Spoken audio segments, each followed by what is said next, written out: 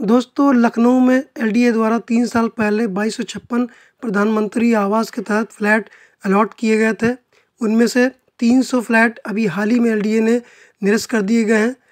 दोस्तों, एलडीए जल्द ही इन 300 फ्लैटों का फिर से लॉटरी प्रोसेस करेगा। जिन लोगों ने इसमें लास्ट टाइम फॉर्म भरा था और वो लोग वेटिंग में थे, उनको फ्लैट नहीं मिला था तो उन लोग को चांसेस है फिर से फ्लैट पाने का।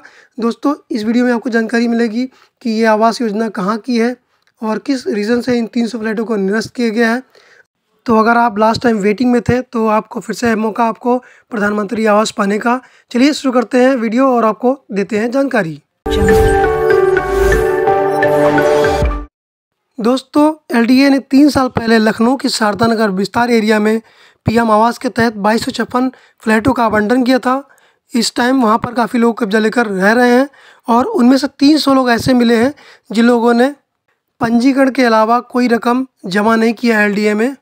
एलडीए उपाध्यक्ष प्रथमेश कुमार जी ने संज्ञान में लेते हुए इन लोगों के खिलाफ नोटिस जारी किया हुआ था ताकि लोग अपना पेमेंट जमा करें।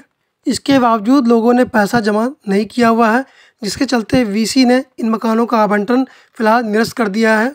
जिन लोगों ने इसमें लास्ट टाइम फॉर्म भरा था, वेटिंग में थे, उनको आवास नहीं मिला था तो एलडीए फिर से उन लोग की लॉटरी करेगा और उन लोग को जो तीन सौ फ्लैट ये हैं उन लोग को अलॉट किए जाएँगे और इसकी प्रक्रिया जल्द ही शुरू होने वाली है एलडीए में। तो अगर आप भी वेटिंग में थे या कोई जाने वाला आपका वेटिंग में था तो आप लोग वीडियो को शेयर करें और एलडीए में जाकर के वो लोग संपर्क भी कर सकते हैं। दोस्तों, प्रधानमंत्री आवास से जुड़े अपडेट पाने के लिए वीडियो को लाइक कर दें। चैनल पर नए सब्सक्राइब फॉलो करें। जितना हो सके वीडियो हमारा शेयर करें।